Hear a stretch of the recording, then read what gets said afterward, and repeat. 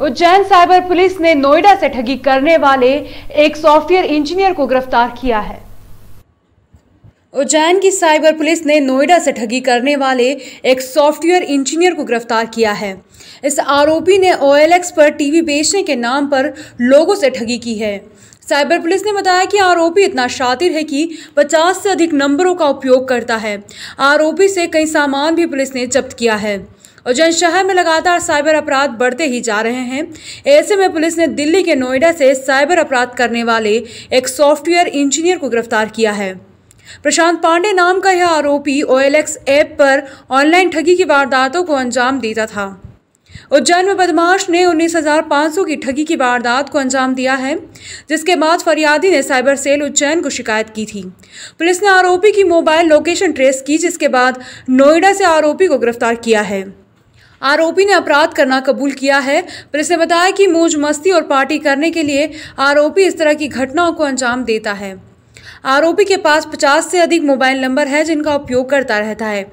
इतना ही नहीं, आरोपी ने कई युवतियों को भी प्यार के झांसे में फंसाकर रुपयों की ठगी की है।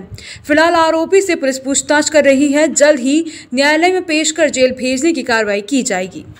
उज्जैन साइबर टीम ने हमारे एसपी सर के निर्देशन में एक हमने टीम गठित करी थी जिसमें हमने दबिश दी दिल्ली के पास नोएडा में।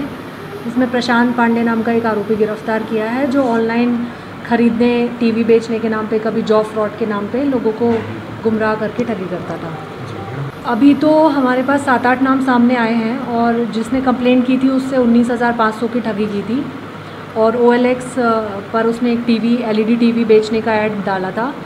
जिसमें हमारे पास फरियादी ने आके बताया कि उन्नीस हज़ार पाँच सौ रुपये हमसे डिपॉजिट करा लिए और हमसे कहा कि हम आपको टीवी डिलीवर करेंगे जो आखिरी तक डिलीवर नहीं किया। तो उसके बाद हमने उसको ट्रेस किया हमारी टीम ने तो वो गिरफ़्तार ये बहुत ही लर्नेंट है। ही ये अपने आप को हार्वर्ड यूनिवर्सिटी से पास आउट बताता है। He is fluent in English English बहुत अच्छी बोल लेता है। उसका सोशल इंजीनियरिंग अच्छा है बातचीत करने का तरीका अच्छा है। सो so दैट ये लोगों को कन्वेंस कर लेता है। तो अभी इसने बताया कि मेरा आईबीएम से भी सर्टिफिकेशन है और आईबीएम से इसने कुछ सात आठ तरह के कोर्सेज़ किए हुए हैं। अभी हम पुलिस इसकी जाँच कर रही है कि वो कितने जैनविन है, नहीं। बाकी इसकी बातचीत की तरीके से पता चलता है कि ये अच्छा शिक्षित व्यक्ति है और टेक्निकली साउंड भी है।